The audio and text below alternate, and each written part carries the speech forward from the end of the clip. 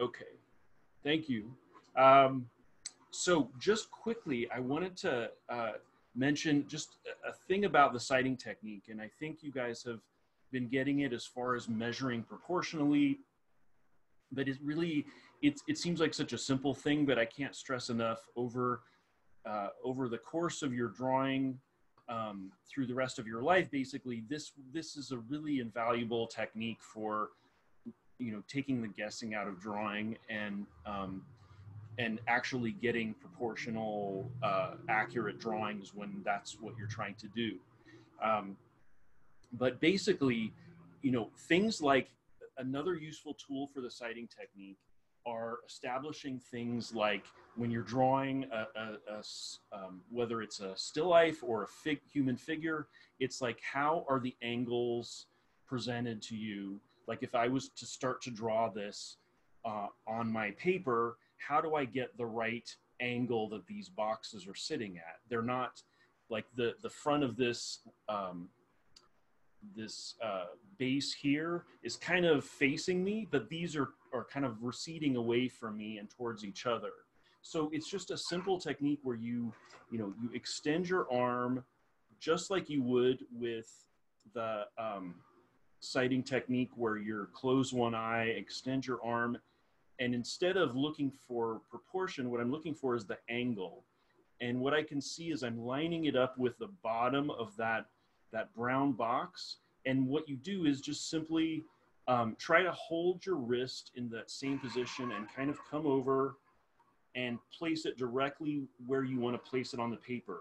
So it's like I have from here to here, it might shift a little bit, but it's giving me a pretty accurate description of that angle. So I can now, you know, make a mark that will show me where that is and I can also then come see and you'll find it's going to be almost exactly the same for the top since they're they're um, pretty close to me.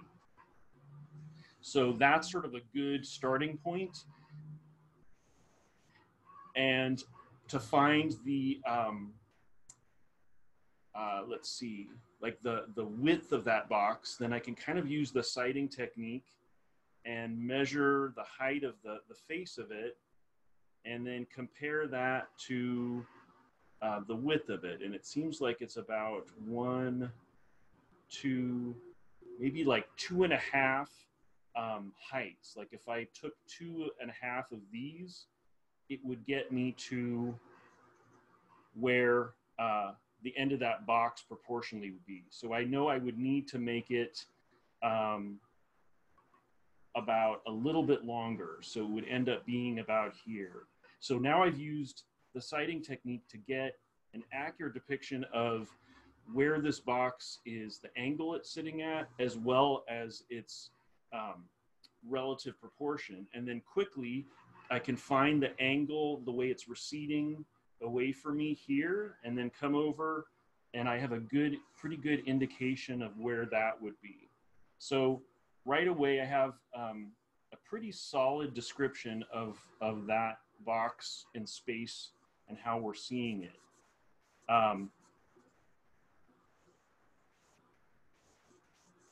so quickly then with the, the red box next to it, I can do the same thing. I know that it's, I can make one of those sort of, uh, it's called a plumb line. Anytime you kind of use a, a line that's straight vertical to try and establish the um, position of something. And the other thing I can do is, is the red box seems slightly higher than the brown box. So I know it's gonna start somewhere around here. So I'll make a little notation there. And then I'm gonna look for the angle that the red box is receding away from me at and move over, kind of trying to hold my uh, position as best I can. And I know that angle is gonna be, let me check that again. Something about like this relative to the box next to it. Yes. So I have a good sort of start for that. I know I can kind of look at the bottom and I also see that the red box is slightly larger. So it comes down a little bit below that brown box there. And then I can double check and look at the bottom of that red, red box here and come over and I've got a good kind of indication of where that should be. So quickly now, I also want to see where um, the width of that red box here compared to say the brown box. And it seems to be about half the length of that.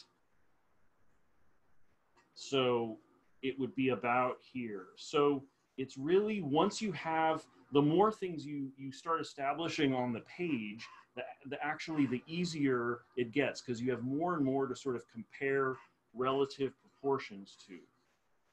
So it, it actually the the main thing is is getting sort of the first items down loosely and then you can correct them as you go but it's mainly getting um, starting to get things blocked in. So now I'm going to quickly check the proportion of the left side of that box and I can notice it appears slightly, because it's turned, slightly narrower than this side. So I'm going to make a little note that it's slightly smaller so it'll come almost to the edge of the page here.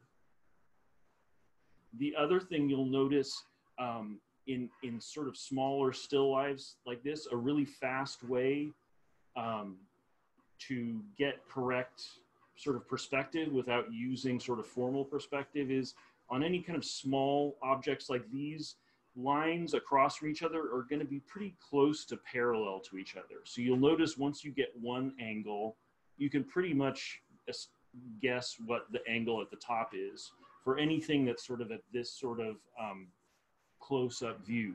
So then just quickly what you could do for getting that glass on there and using the, the sighting technique, that clear glass, is a good, anytime you're drawing something square like this and you want to find the center, uh, use sort of some, some sight, some lines to help you visualize, but basically drawing a crosshairs from corner to corner is going to give you the proper center. And that's something you can kind of erase later or absorb into the drawing.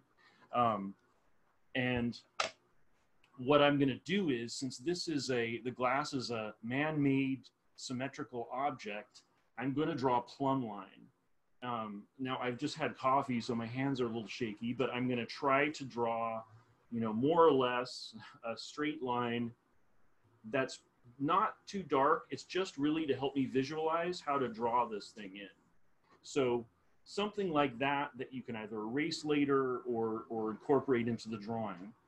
Now I'm gonna check and see next what the, the narrowest part that's sitting on the red box, the width of it is.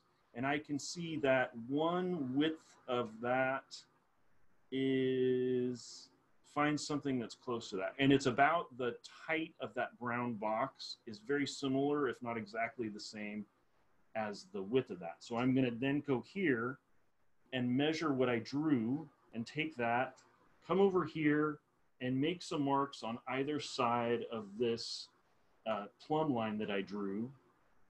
And now I know that that is gonna be the, the width of that as it sits on the, the top. So the next thing I'll need to find is what the full height of that object is. And to do that, what I'll quickly do is measure, measure, excuse me, the width compared to the height. And it looks like one of those widths, if I turn my hand then horizontally, it's about twice as high as it is wide. So I'll know if I take this width here and let's say the, the front of that glass is going to line up about here, I can go take this measurement and go one, there's one width. And then, so I know the top of the glass is going to fall somewhere around up here. So we're almost ready to, to, to block in that glass. We know these are called sort of organizational lines where you kind of draw these plumb lines and sort of visual sight lines so you know roughly that glass is going to fall in there except it's slightly angled you'll notice where the top of the glass is slightly wider than the bottom so i'm going to use that sighting technique to find the angle that's at so it's like compared to the straight up and down that the edge of that red box is that side of the glass, you can say slightly angled. So what I'll do is I'll try to hold, close my left eye, line that up on the edge of the glass, and then come over and try to line up that angle. So it's gonna be somewhere about like this, like the way that that angles down, something like that. And then the other side is going to duplicate it exactly since it's a, it's a man-made object. So it's gonna be symmetrical. So now what we have is we can get the structure of it, which is elliptical, which is, you know, ellipses are just, you know, if you were to look at this glass straight down, it would be round. And as you turn it in space, ellipses are basically circles in perspective.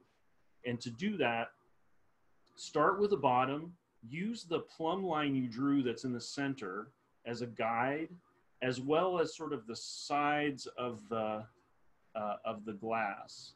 And I can see that I'm and and with starting with with making these kind of ellipses, they are the most sort of challenging thing to draw in a way because it, you need to get a little bit gestural.